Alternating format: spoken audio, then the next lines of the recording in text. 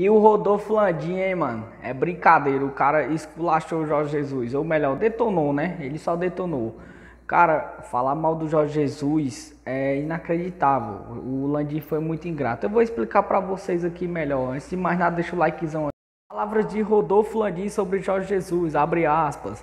Ele tem mais é que agradecer a gente, mais do que a gente tem que agradecer ele porque ele saiu daqui e não deu certo em lugar nenhum. Já a gente continuou dando certo mesmo depois que ele saiu daqui.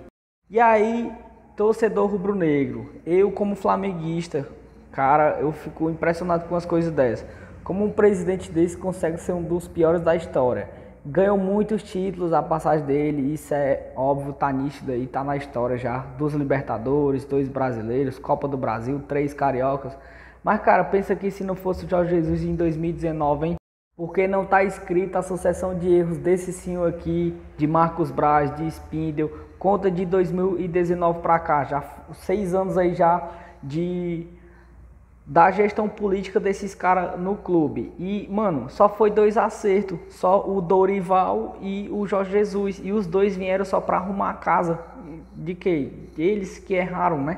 E eu não preciso nem entrar no mérito aqui não, mano, sobre sobre treinador, sobre o que já disseram é porque, cara, eles demitiram o Pelaipe. O Domenech mesmo falou, mano, que o problema do Flamengo está dentro do Flamengo. Esse senhor aqui, ó, o próprio Jorge Jesus falou isso também. Então, mano, esses caras querem mandar no Flamengo, querem, é por isso que eles são chamados de soberbo o tempo todo. E quem sofre é o torcedor flamenguista, mano. Pensa nisso.